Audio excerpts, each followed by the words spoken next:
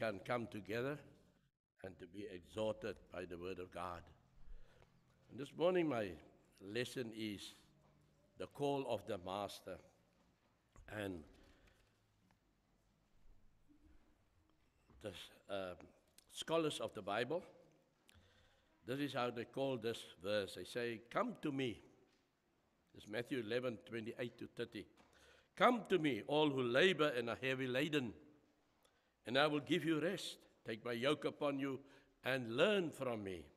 For I am gentle and lowly in heart, and you will find rest for your souls. For my yoke is easy and my burden is light. And when we read these verses, then one of the things we, find, we read is, is that it implies something to do. Now, many people would uh, say you only need to believe. A belief is a brain thought or a function of the brains. But when you come, then it's action. And so, God, when He says, Come to me, it's an invitation to each one of us. That means if I need to say, Come, then I expect all of you to stand up and come my way. It is something which your mind tells you to do. It is because of something that you would come forward. So when Jesus, the call of the Master says, Come, come to me, all who labor, it is clear that God will not force us to serve Him. But nevertheless, we see great encouragement to do so. The second part is it implies something to take. And that is when we read, Take my yoke upon you. And so, Jesus, the emphasis here then is service. Yoke is what is placed on the oxen so they can draw the wagon. Yoke is even in the time of, of, of um, punishment, then they will put a yoke on your shoulders and tie your hands to it, and we know you cannot do anything. But here, this is, Jesus implies service. When we come to Him, then He's even inviting us to be of service to Him. This morning, we may ask ourselves, how are our service towards God? Come to me, all who labor and are heavy laden.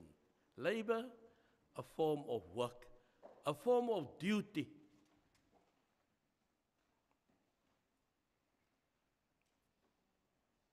And when, when we have a yoke on us, we find that it is required of us not just to carry, but also to feel the burden. Sometimes we go to the shop and we need to carry our baggage. And if it's a cold day, we'll find even our fingers will tell us, You have carried a heavy burden. The, anything that is heavy will leave its mark. And so Jesus wants us to realize when He calls us to do something, we need to take up this yoke upon our shoulders and we need to walk with Him. It also implies that we must leave something behind. Come to me, all ye that are heavy laden, and I will give you rest. Take my yoke upon you and learn from me. So it's an invitation also to us to leave something behind. And usually it's the burden of sin. In Philippians 3 and 13, Paul writes this Brothers, I do not consider that I have made it on my own, but one thing I do, forgetting what lies behind and straining forward to what lies ahead. And that was Mo, uh, um, Paul's modus operandi, if one. This is what he was doing. He knew where he came from,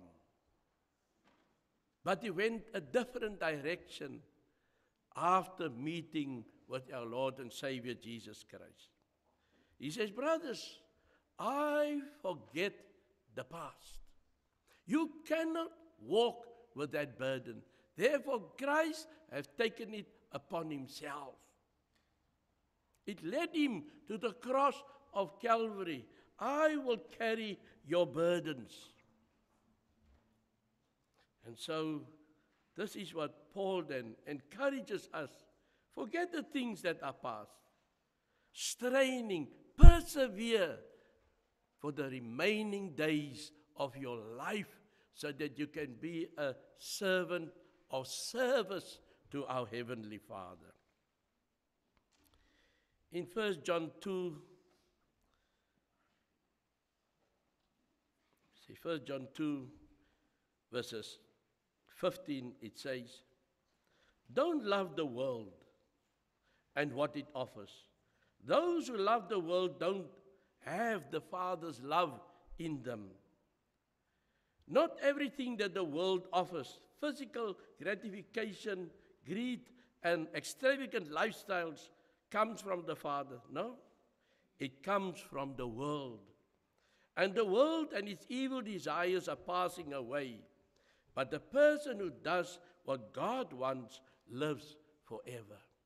So here in First John, we have this beautiful encouragement. We need to make a decision. There's the world and there's the love for God. Don't love the world and what it offers. It is burdensome. Those who love the world don't have the Father's love in them. Where must He take His space? When your life is filled with worldly things.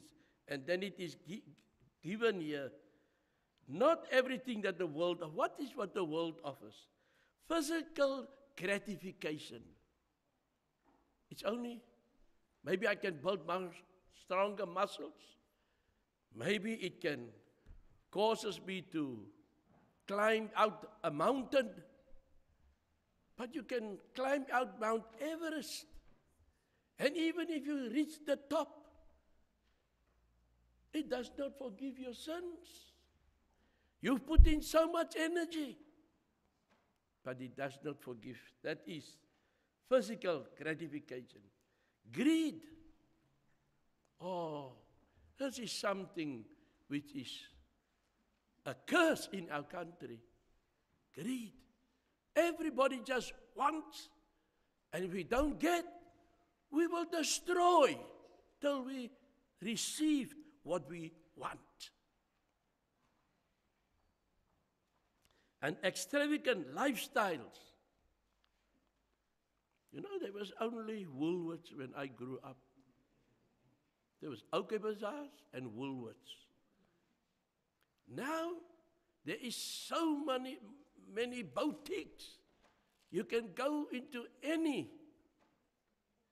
mall and you'll find they all lined up there, displaying extravagant. Sometimes you must look at the name first before you enter, because the name will tell you if you can afford it. But extravagant lifestyles. Yes, I'm not saying you should not wear beautiful clothes and beautiful shoes. I'm not saying that. But are you living for that only? When your salary is in the bank, is the first thing you do is, I need a new pair of shoes. There's 10 pairs already in the cupboard. or I need a jacket, or I saw somebody with a beautiful uh, dress or skirt or jacket, and I also want it. If you've got clothing, you have enough. If you've got a roof over your head, you've got enough. You've got a car, it's good. Can bring you to church. But do not, you know that we at the college, we had a special training that we needed to know how to work with money. Because they say a preacher that does not know how to use his money wisely will not be fit for the kingdom. So we were given special training on how to do or work with your money so that maybe the church would say, no, we're not going to give so much money anymore to the church. Ah, because the preacher's driving a new car every year. And Bowie is always on a holiday, Turkey or America or Australia. No, he's getting too much money. Look, he's just bought another house and so on. This is material gratification. But we had to learn remember, you are the leader of people. There's poor in the congregation and there is well off in the congregation. Don't you stand out like a sore thumb. If there's poor in the church, you become like those poor ones. Is wise to know that. I know I, when I was still younger and was still preaching in Grassy Park, and uh, I said, I still made this example. If the church must say, you know, that suit that that preacher is wearing, he's got it for the last 10 years already. If you say that your preacher's got a suit for 10 years already, then he's telling you you need to go and buy the cheap preacher a suit. You can't see him carrying on like that. So it's just a thought which at that time which I said that, um, and that's how I viewed it. Romans 6 and verses 7, 16 and 17 says, Do you not know that if you present yourself to anyone as obedient slaves, you are slaves of the one whom you obey, either of sin, which leads to death, or of obedience, which leads to righteousness. But thanks be to God that you who once were slaves of sin have become obedient from the heart to a standard of teaching to which you were committed. So the Apostle Paul is saying, You were obedient to a master and a sinful master. When that craving is within you and it tells you, you need this, you need that, I can't live without this, Now he's using that and he's saying, it is sin because you become a slave to sin. But now he say, but we are thankful to God that you have been obedient to a standard of doctrine or a standard of teaching to which you were committed. I'm thankful. Here is young children sitting here, and as I see them, my prayer is always that they will not be caught up in the world and its material gratification. But as they long to be in Sunday school and even in the youth, we was Friday night here with the youth, and it's lovely to see the exuberance of the young people. And my heart goes out and I pray, please, Lord, let they not go astray. Let the church always be there as the light to guide them. Because if we don't do it, then they fit. They will go to the world and the gratification of the world. But Paul is saying, I'm thankful to God that you once was lost, but now you are found. And you've been obedient to a form of teaching.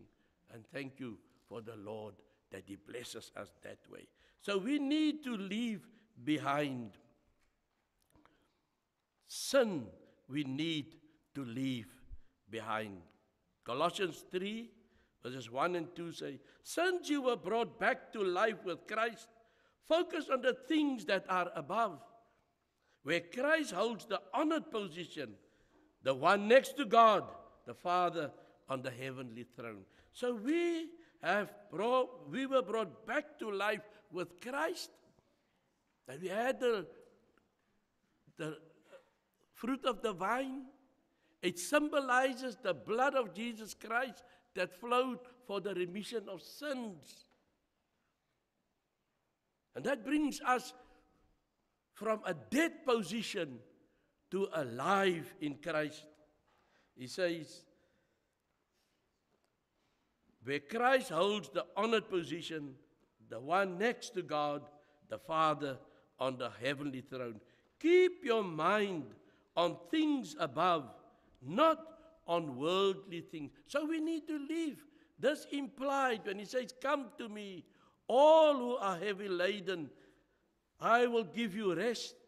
Take my yoke upon you and learn from me.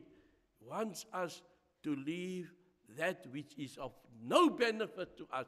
We need to leave that behind. Keep your mind on things above not on worldly things. It says also, Colossians 3, verse from verses 5 and 6. Therefore, put to death whatever is worldly in you your sexual sin, perversion, passion, lust, and greed, which is the same thing as worshipping wealth. It is because of these sins that God's anger come on those who refuse to obey him. And as I read this, I'm thinking of the Bible study we had this morning. Because that is the condition which Israel found itself in. That they oppress the poor and they are nonchalant to them. They even sell them off. But they've got houses, winter houses, they've got summer houses, they've got ivory clad houses, they live on nice beds. That's why God says, even the bed will be pulled out from under you. God is not to be mocked. He cares for us. And so when He says, Come to me, all of you who are heavy laden, I will give you. So it implies something to do. It implies something to take, take my yoke upon you. It implies something to leave. We need to leave our sinful, greedy, and material gratification life. We need to leave that. It implies something to learn. It says here, and learn of me, for I am gentle and I am lowly. Some would say meekness and gentle and humble is the two words. Some version would say that. And that is the example that Jesus, throughout his life and his ministry on earth, demonstrated that he was this gentle person. He was this lowly of heart. And the point where he most stressed it when he was wrongfully accused, when they brought him before the Sanhedrin, when they brought him before the high priest, when they brought him before Pilate, he stood there. And when he did speak, it was of truth that he spoke. He was, even Isaiah chapter 53 would tell us, when it says there, the suffering Savior. He did not open his mouth. He could say at one time, I can call now on 10,000 of angels to release me. All my followers would have fought for me, but now I'm standing on my own, he tells Pilate. This is the way that Jesus had to go. We have to learn from him, and it shows that Christ set that example that we also don't seek your own. Rather, somebody smack you on the cheek, turn the other cheek also. Somebody ask you your coat, and you give the undercoat also. If he asks you to walk one mile, then you walk two miles with him. That is the example which Jesus said. It implies rest for the souls. As Jesus said, I will give you rest and also, and you will find rest for your souls. If you do all this which the Lord has asked of you to do, He will give you rest. And I had this verse this morning, but I need to read it again now. Jeremiah 6 16. This is what the Lord says Stand at the crossroads and look. Ask which paths are the old, reliable paths. Ask which way leads to blessings. Live that way and find resting place for yourselves. You must ask. You must come. You must take up your yoke. You must learn of God. And you will find that the resting place is prepared for you. And who wouldn't want to rest in the arms of Jesus? Who of us wouldn't like? It says here that Jesus is standing at the honorable position next to his Father. And I can just see us standing next to Jesus, also in an honorable place. This is what this verse implies to us that we need to come. We need to labor, uh, all who labor and are heavy laden. If you have burdens this morning and you want to make it lighter, Jesus is prepared to carry it with you. I will give you rest. Rest from sin. Take my yoke upon you and learn from me. For I am gentle and lowly in heart, and you will find rest for your souls. For my yoke is easy and my burden is light. You know, uh, almost a thought that comes to me a yoke can be heavy, but Jesus would take that heavy load from you and give you an aluminium yoke. It is much lighter. It can still do the work, but it doesn't take so much energy out of you. This is what the world can do. They can have metal that is heavy, and they can have metal that is light. If the world can do that, how much more our Heavenly Father? Take upon Him all our trials and tribulation, all our sins, and gives us a free passage to heaven. And He's walking day by day with us. And Revelation 14 13 says, Then I heard a voice from heaven saying, Write this Happy are those who from now on die in the service of the Lord. Yes, indeed, answers the Spirit. They will enjoy rest from their hard work because the results of their service go with them. That is when we come to the end of our journey. Our works do follow us. And God gives us that so much needed rest in the arms of Jesus. And so, my brothers and sisters, let us not grow weary. Let us not think everything is burdensome when it comes to the Lord. Let us say, I am saved. I am free. I am free indeed. He says, Come unto me, all who are heavy laden, and I will give you rest. Lord, I pray that we will come to you in this manner and that we'll realize that we are needful of you every day. But most blessed is that we will find rest in your arms. In Jesus' name, amen.